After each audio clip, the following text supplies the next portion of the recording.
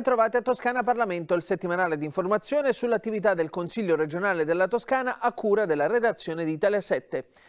Iniziamo subito eh, andando a vedere come il Consiglio ha votato, anzi approvato la riforma statutaria che prevede un cambio dell'ufficio di presidenza e l'introduzione del sottosegretario alla presidenza eh, della regione, ma non è mancato il dibattito e qualche sorpresa al momento della votazione.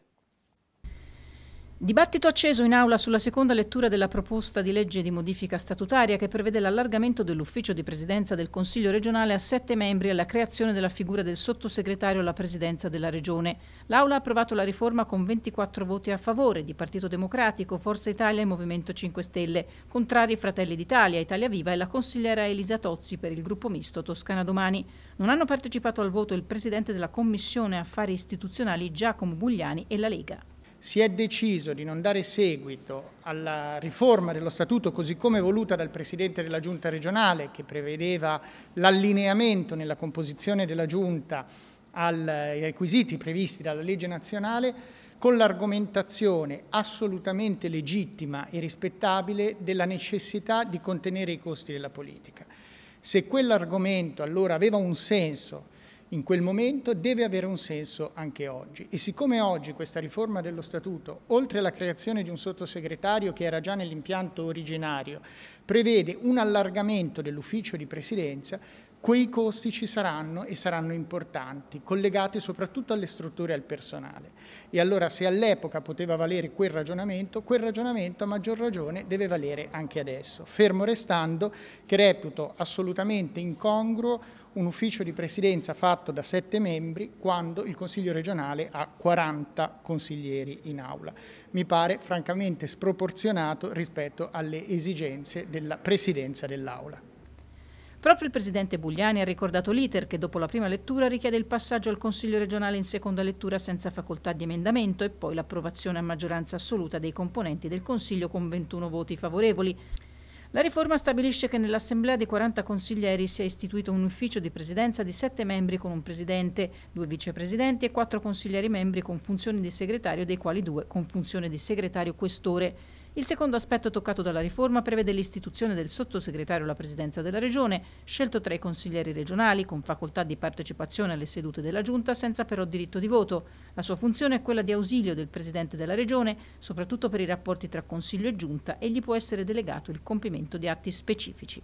Nessun cambio di maggioranza, la maggioranza è, perlomeno dal mio punto di vista, è solida con, con Italia Viva, è evidente che il Movimento 5 Stelle dopo il voto sui grandi elettori ci ha mandato un altro messaggio di attenzione rispetto ai lavori istituzionali che noi stiamo portando, portando avanti, ma detto questo non cambia nulla.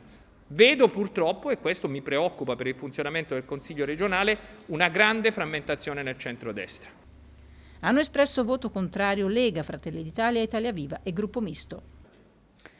Noi stamani abbiamo deciso di non votare perché riteniamo che comunque ci fosse bisogno, ma forse lo riteneva anche qualcuno del PD, visto che hanno chiesto un'interruzione proprio per questo, di un passaggio, di calmare alcuni animi e di capire se si poteva trovare una soluzione condivisa. E, poi il PD è tornato e ha voluto votare, allora noi abbiamo deciso eh, di lasciare a loro il voto e, e di andare oltre. Certo, oggi è emerso un po', un po' di confusione, sembra che eh, il 5 Stelle sia entrato in maggioranza e sia uscito dalla maggioranza il Italia Viva, stando a, qu a quanto vediamo dal voto, anche perché eh, la proposta è in seconda lettura, dalla prima alla seconda non si può modificare ed evidentemente eh, il 5 Stelle che ha votato contrario alla proposta la scorsa volta oggi ha cambiato radicalmente idea per votarla a favore. Forse ci dobbiamo aspettare che da parte della maggioranza il questore spetti a una persona del Movimento 5 Stelle?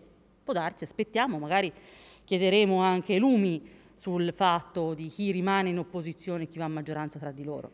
È evidente che questo voto apre una, un confronto politico, a mio avviso. Nelle prossime settimane sarà necessario, non è più rinviabile. Questo non tanto nel merito delle questioni statutarie, perché credo che i partiti possano legittimamente votare e anche i singoli consiglieri in base alla propria coscienza ed è corretto che sia così, però è evidente che questo voto apre un confronto non soltanto nella maggioranza ma anche nelle istituzioni. Noi lo chiedevamo anche in merito per esempio alla riforma del sistema elettorale, lo chiedevamo su varie questioni. Oggi sono in ballo temi importanti, penso all'allocazione definitiva delle ultime risorse sul PNRR, c'è il piano dei rifiuti, c'è le questioni infrastrutturali per quanto riguarda la nuova pista dell'aeroporto, quindi noi crediamo che archiviato questo, questa fase, questo anno e mezzo, sia necessario, doveroso e opportuno magari fare una verifica degli impegni assunti in campagna elettorale per riproseguire in maniera compatta e più forti per il proseguo del mandato. Cioè, se la maggioranza non riesce a trovarsi d'accordo all'interno della propria compagine, figuriamoci se possiamo andare noi in aiuto.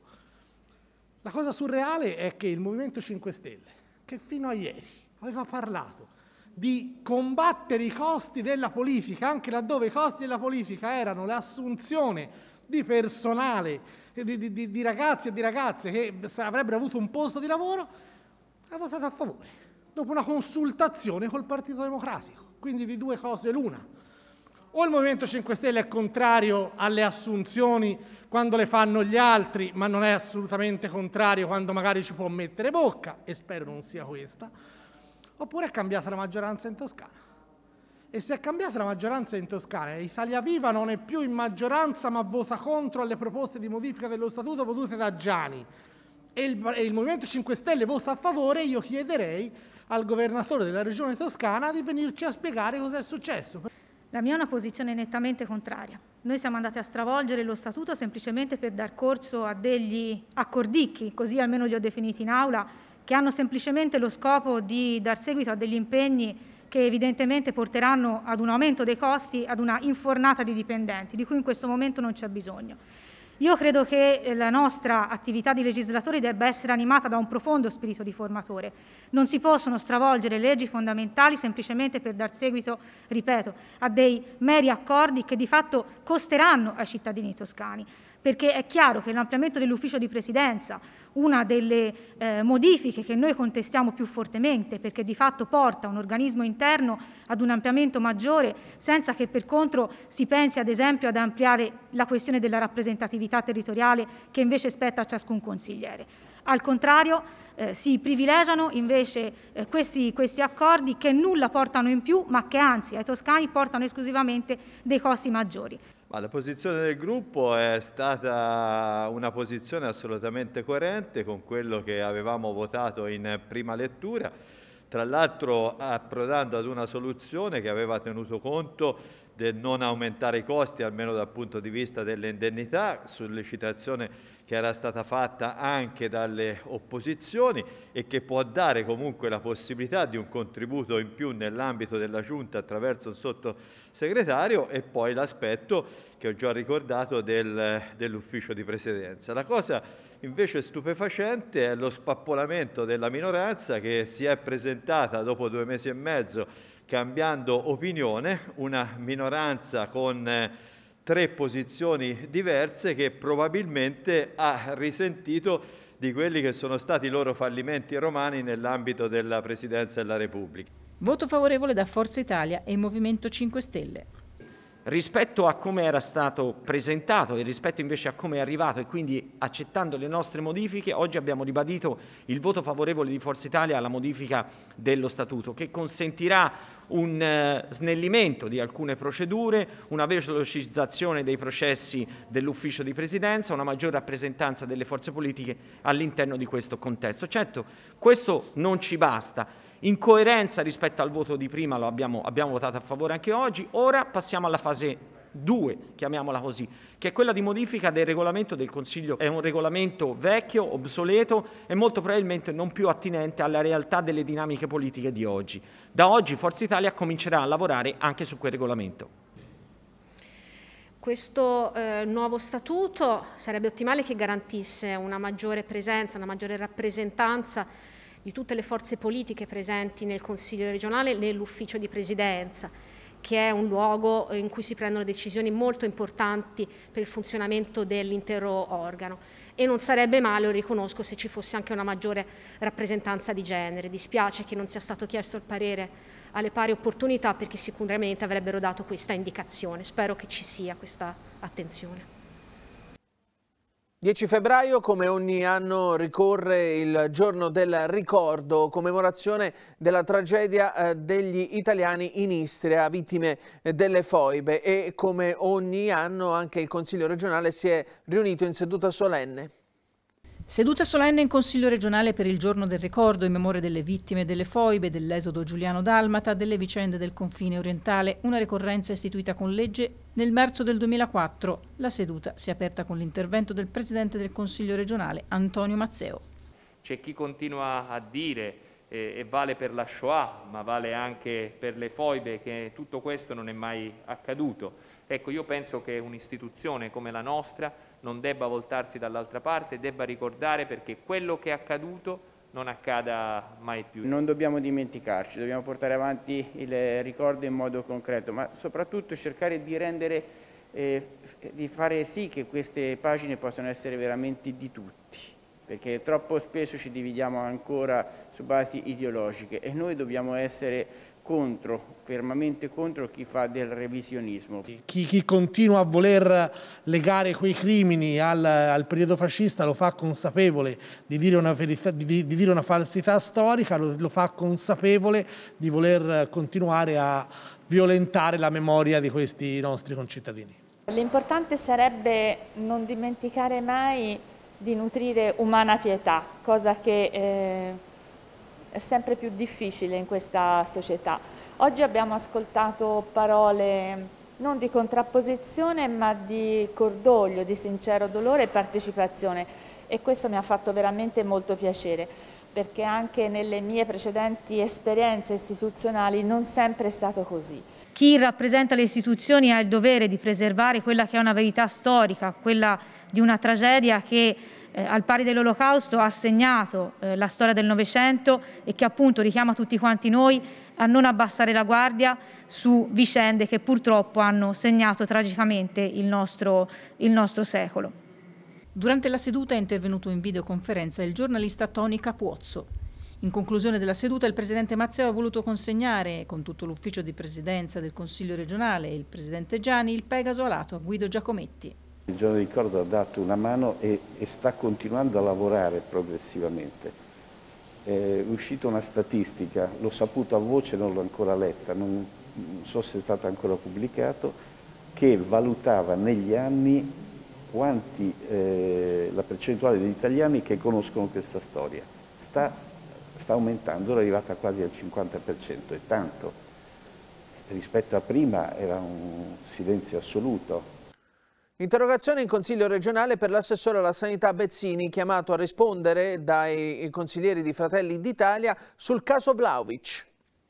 Se qualcuno avesse avuto il dubbio se il calciatore Dusan Vlaovic per recarsi a firmare il contratto con la Juventus avesse violato o meno la quarantena, da oggi sappiamo che la risposta è sì. Il sospetto c'era, ma a scansare l'accusa di eccesso di malizia è stata la risposta dell'assessore regionale alla salute Simone Bezzini a un'interrogazione di Fratelli d'Italia in Consiglio regionale. L'azienda eh, ASL Toscana Centro ha effettuato delle verifiche per comprendere se erano pervenute istanze di trasferimento di, luo di luogo dove effettuare diciamo, l'isolamento, non sembrerebbero essere arrivate all'ASLA istanze di questa natura. L'ex calciatore della Fiorentina, appena passato alla Juventus, Dusan Vlaovic, aveva saltato Cagliari-Fiorentina del 23 gennaio per positività al Covid e almeno ufficialmente non sarebbe stato ancora negativo il 28 gennaio, giorno del viaggio a Torino, per svolgere le visite mediche con la Juventus. Dunque avrebbe violato le norme Covid. Il Dipartimento di, di Prevenzione ha fatto ciò che eh, avrebbe fatto di fronte ad ogni, ad ogni, cittadino, ha effettuato una segnalazione all'autorità giudiziaria e sarà l'autorità giudiziaria a fare gli accertamenti diciamo, che essa riterrà opportuno fare. Ecco, da qui in poi ovviamente poi c'è anche un tema di riservo, essendo informazioni che attengono attività dell'autorità giudiziaria da una parte, ma anche informazioni di natura sanitaria dobbiamo rispettare anche gli elementi della privacy. La vicenda Vlaovic è diventata un caso che ha suscitato l'ira dei tifosi viola, rivali da sempre dei bianconeri, e come se non bastasse la presunta violazione delle norme Covid ha aggiunto benzina sul fuoco. E dopo cinque giorni e mezzo di isolamento il signor Vlaovic ha ritenuto possibile per lui violare la quarantena e recarsi in auto, non si sa con chi, con altri cittadini che poi dopo a seguito di un contatto con un positivo sono rimasti a giro liberi per la nostra regione se n'è andato beatamente a Torino a firmare il contratto con la Juventus, a farsi le foto in mezzo ai tifosi, ad abbracciare le persone, che sono tutti, mi sembra, protocolli previsti dalla quarantena Covid. Quindi la Regione Toscana, la ASL Toscana Centro, ha trasmesso tutti questi dati all'autorità giudiziaria. Mi aspetto che venga trattato come un normale cittadino. E queste regole vengano applicate anche a chi di professione non fa l'avvocato, l'ortolano o il muratore, ma fa il calciatore da Juventus. Ed è tutto per questa edizione di Toscana Parlamento. Il settimanale di informazione sull'attività del Consiglio regionale torna la prossima settimana.